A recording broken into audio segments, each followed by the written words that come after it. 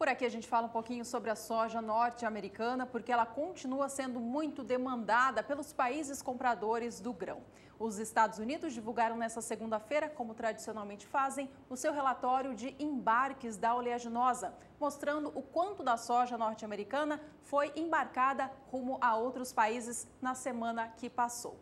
Os números mostram um volume dentro da expectativa do mercado, acima de um milhão de toneladas. Veja os números comigo, então, na sua tela. Você de casa acompanha tudo aqui no Agricultura BR. Veja que na semana encerrada no dia 9 de fevereiro, os embarques de navios que saíram dos Estados Unidos para outros países totalizaram 1 milhão 145 mil toneladas da soja em grãos. Esse volume, como eu dizia, ficou dentro da expectativa do mercado, que era de 1 milhão e 90 mil até 1 milhão 280 mil toneladas, dentro, portanto, do que era esperado e um pouquinho abaixo do que foi registrado na semana imediatamente anterior.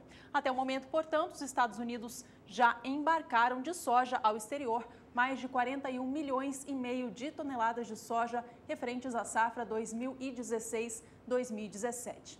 Além de toda essa soja que já saiu dos portos norte-americanos, mais de 10 milhões de toneladas ainda aguardam para serem embarcadas nos navios. Veja o quanto de soja foi vendida até o momento: cerca de 51 milhões de toneladas. Até o momento, portanto, 41 milhões e meio foram embarcadas, já foram rumo aos outros portos de outros países compradores. Portanto, os Estados Unidos seguem vendendo muita soja para os países compradores.